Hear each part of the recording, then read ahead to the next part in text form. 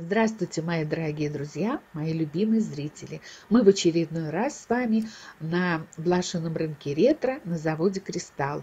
И если в прошлый раз нам делали обзор из большого зала о чайных сервизах и чайных парах, то в этот раз мы по моей просьбе мне сделали обзор к желе – ну да, мне не хватает каких-то э, предметов для сервировки стола. И когда в прошлый раз я делала обзор к желе, то увидела, что мне нужно что-то поставить на задний план и что-то вот не хватает каких-то емкостей для того, чтобы э, туда что-то положить, какие-то вкусняшки. Ну, вы знаете, без вкусняшек нам нельзя никак.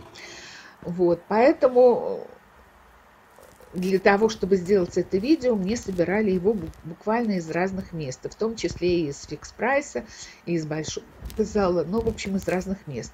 И, кстати, я хочу перед этим еще вставить, что э, предметы, которые здесь продаются, э, различные, в том числе и посуду, можно увидеть и на Авито, выставлено там, и в Мешке, и на Юле, и в Инстаграме, и в Фейсбуке.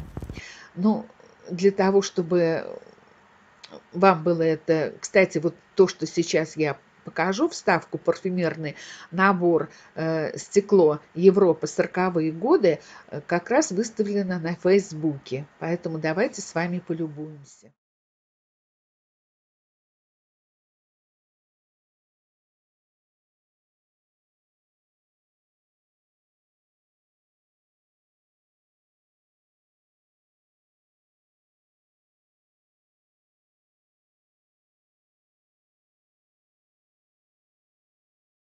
Совсем недавно Катюша, хозяйка замечательного канала «Радости жизни», делала обзор э, своего чудесного парфюмерного набора из хрусталя. Там было пять предметов. И я помню, еще удивлялась, как много входит э, предметов в состав этого набора. Но вот здесь, как вы видите, семь предметов. Э, в общем-то, такая же вазочка для цветов, как и у Катюши. Э, два флакона с притертыми пробочками. Но это может быть или туалетная вода, или одеколон, или еще что-то. Точно такая же коробочка-пудреница лоточек для э, того, чтобы положить украшения. И э, еще добав, добавлено два предмета. Это, я думаю, тарелочка для того, чтобы одевать сюда браслеты, складывать кольца. И такой вот э, дезодар, пульверизатор, спрей, но тоже для каких-то вот духов или для чего-то подобного.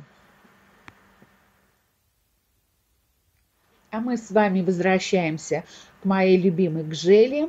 И вот просмотрев здесь все, я уже, кажется, начинаю определяться, что мне нужно.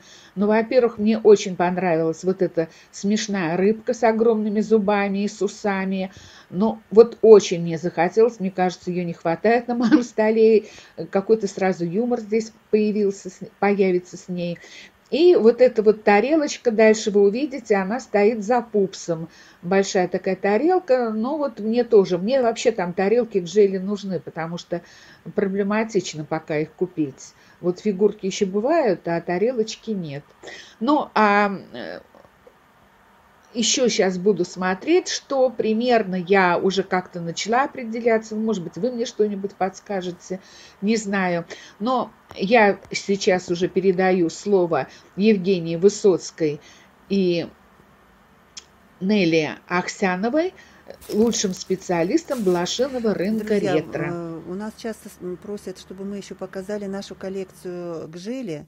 И вот Нелли любезно согласилась нам рассказать о том, что у нас интересного есть совет, гжели советского периода. Ну, сильно интересного, к сожалению, на данный момент нет. Есть, э, точнее, была раритетная статуэтка э, в очень минимальных тиражах. У нас был фазан с деревом, Ценность этой статуэтки порядка 50 тысяч. К сожалению, она продана. А, старая гжель довоенная, статуэтки редкие попадаются, очень быстро уходят, спрос на них стабилен, ну и ценники на них, к сожалению, тоже. А с посуды Гжель делала все, начиная от штофов, причем в советское время изготавливался штофы под определенные заводы, под алкоголь. А, в запечатанном виде. А, сейчас есть пара-тройка в наличии, но, к сожалению, не здесь, на других витринах не очень удобно носить. Чашки, чайные, кофейные пары, были сервизы гжельские, полные чайные, кофейные делались. А, к сожалению, качество фарфоровой массы оставляет желать лучшего. И, в общем-то, качество изготовления, качество росписи, возможно, не очень хорошее. При, видимо, расписывании высохшего изделия очень много при обжиге выявляются пятен вот этих голубых, ну, голубых разводов самого кобальта. По росписи. Советские, советские, наверное, предметы более крупная роспись более простая, меньше завитков, меньше каких-то мелких деталей. То есть вот обычный чайник, но опять-таки, видите, вот они разводы э, самого кобальта. Это уже запеченка, это заводской момент. Сюжет стандартен. Цветы, птицы. Цветы, птицы, ничего волшебного, примитивный достаточно рисунок. Э, советское клеймо, позднее. Э, с таких же предметов Рюмки делались. Крохотные чашечки кофейные. Стандартный чай. Угу. То есть пары встречались и вот в таком плане. Буквально два глотка чашка эспрессо, но утилитарные предметы ну, вот это уже скорее позднее. Другой цвет массы. Советская гель была немножко желтоватой. То есть, скорее всего, это более современные остатки э, поздних гелей, которые растасканы сейчас по мастерским и э, продаются под видом сувенирки. Ваза для цветов советская гель, советская клеймо уже поздняя. Но качество, к сожалению, оставляет желать лучшего. То есть сама масса неравномерная. А заливка где-то не пролит глазурь. То есть, ну, стандартное украшение интерьера, но не более. Функционал не несет, потому что достаточно быстро растрескивается. Гель в качестве сувениров, очень много анималистики они делали, очень много статуэток. Кобальт, белая масса, золочение, максимум, что они использовали. Минимальное количество красок. Э, птицы, волки, одна из самых известных, хозяйка Медной горы, статуэтка. Все очень недорогое, там порядка до 3000 рублей. А вот посуда вот эта, она в какую цену? Чашки буквально по 100 рублей, чайники могут до 300-400 доходить, ну, ваза 600 может быть. То есть э, очень, очень доступная по цене, но куда-то в интерьер почему нет.